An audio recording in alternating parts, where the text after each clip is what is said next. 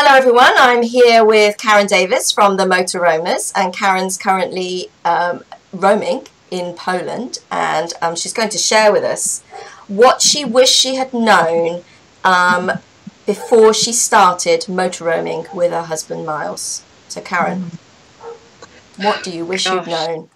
Do I wish I'd known? Do you know what? I think it's really interesting. I, I'm a great believer that everything comes into your life um, at the right time. Yeah. So often we look back and say, "Oh, I wish I'd done this sooner." You weren't ever meant to do it sooner because you weren't ready. So I'm a sure. great believer in that. Mm-hmm. Although when I think about it, I, I wish I'd known earlier on what the freedom and the simplicity of the life we've we've been privileged enough to choose would give us. It has enriched our lives beyond belief.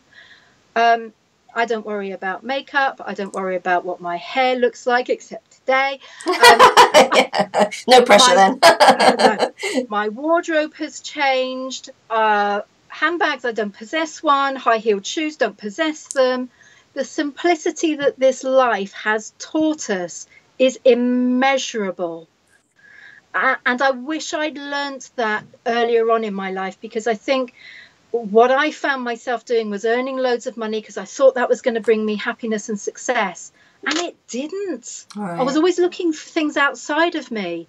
When I realized that actually, when I'm in charge of my own happiness and I can choose a way of living simply and be more free, if I'd have known that that would have given me the sort of life experience I'm having now and the happiness, I'd have done it years ago. Wow and that's difficult to, as you say, in, in, know for yourself, let alone to impart to somebody else. But I, am sure there'll be somebody listening to you that will go, that will um, emanate, you know, um, with what you're saying. Um, mm. Is emanate the right word? I'm not sure, but will fe- deeply feel what it is you're feeling. Resonate. yeah. that's the word yeah, um, and you know you you'll be talking directly to them and their soul and um, hopefully it will give them um, the added sort of push um, support yeah. to, to, to kind of get out there and do it themselves.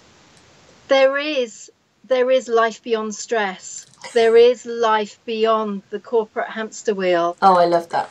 There there is life beyond do you know the film the matrix? Yes yeah. Yes. There is life beyond. You know, you can choose the red or the blue pill. Right, right. Um, and I think it's just realizing that that actually there's so much of life that constrains us. Mm-hmm. Um, when you travel, whether it's in a motorhome RV or backpacking, mm-hmm. suddenly you get a different sense of, of perspective of life.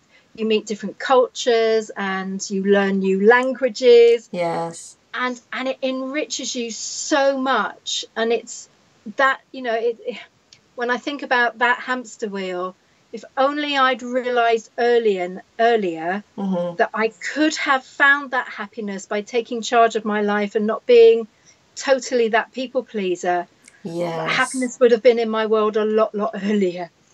So great great piece of advice karen. Thanks for sharing that with us. No worries